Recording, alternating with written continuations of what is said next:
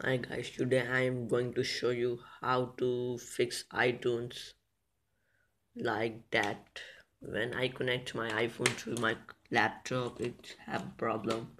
Let's see. Here you can see I'm going to connect it.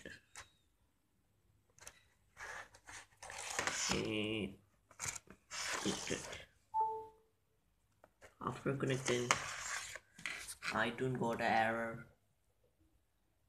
Where? Cannot read the content of iPhone 5s go to some return and factory reset the phone. But nothing you do nothing you need to reset. But first thing to fix it. Go to music. Delete all these files Um, from here just download iFunbox from the link in description.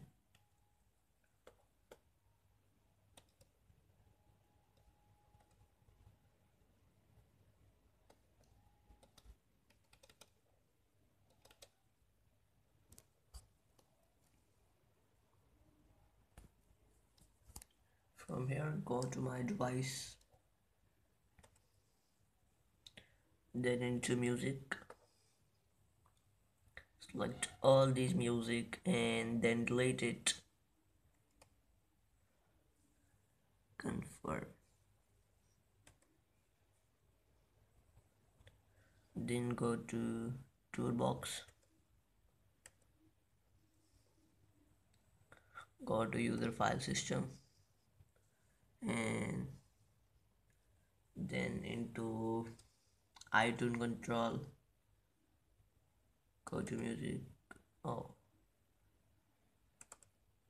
Delete the folder of music.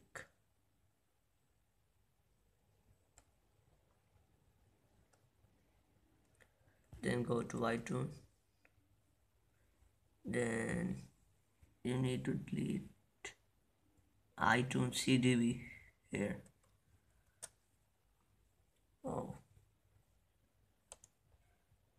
delete it and then close it. And reconnect your phone with laptop.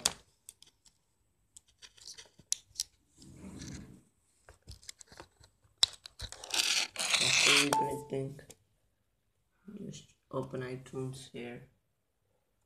And now it can connect with your phone and all the data is here thank you for watching. Subscribe for more